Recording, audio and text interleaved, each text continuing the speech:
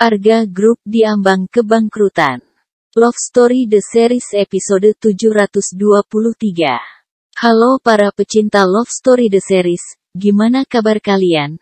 Semoga baik-baik aja ya. Pada kesempatan kali ini, Mimin akan membantu menceritakan kelanjutan sinetron Love Story The Series episode 23, di mana dalam episode ini, Arga Group berada dalam kondisi masalah besar, bahkan bisa-bisa mengakibatkan kebangkrutan.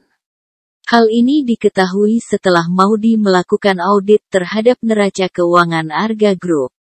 Maudi menemukan banyak kejanggalan dari setiap transaksi yang telah terjadi.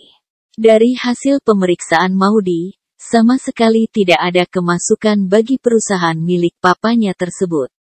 Bahkan dana tersebut lebih banyak dialihkan ke perusahaan Armelia, yang merupakan perusahaan barunya Arman. Tetapi di sini Maudi dan Ken akan berusaha untuk mencarikan jalan keluarnya. Papa Arga senang mendengar keinginan Maudi dan Ken untuk membantu Arga Group.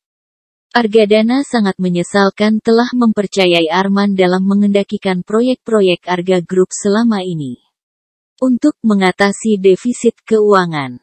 Maudi dan Ken mencoba untuk menagih Arman dan meminta invoice semua transaksi Arga Group.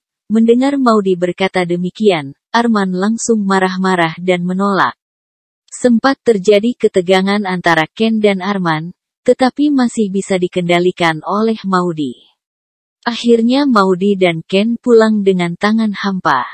Gagal membujuk Arman, Ken tidak putus asa untuk mencari ide, agar perusahaan Arga Group bisa bangkit kembali. Dia mencoba untuk menghubungi partner lama dan langsung membuat proposal kerjasamanya. Sementara itu di kantor terjadi perbincangan hangat tentang PHK massal. Para karyawan takut diberhentikan, karena masih punya tanggungan yang besar kepada keluarganya. Kemudian para karyawan berbondong-bondong menemui Maudi agar ia tidak diberhentikan dari Arga Group. Maudi pun berjanji untuk mencarikan jalan keluarnya supaya mereka tidak kena PHK.